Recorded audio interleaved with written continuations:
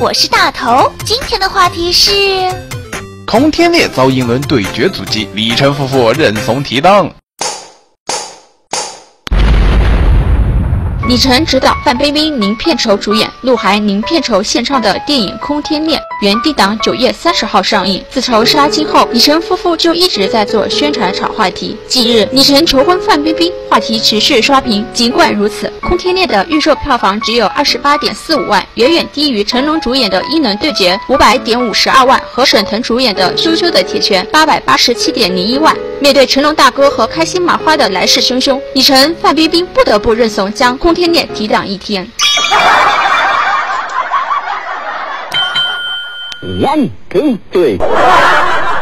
求婚炒作没有成功呀，光看主演就没兴趣去看。听说鹿晗唱的歌，我果断退票了。看看海报，但是那么精致的装开飞机，就已经表明了这部电影的态度了。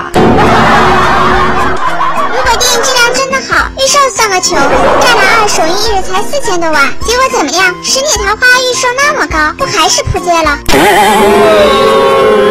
战 狼在评论区里面百分之九十九都是好评，空天猎百分之九十九都是差评，同样的题，不一样的口碑。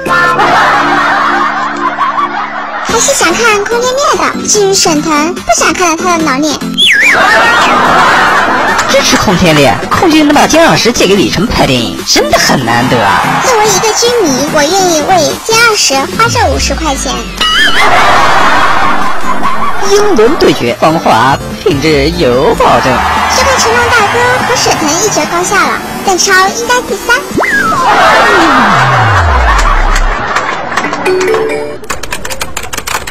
本节目由快 TV 出品。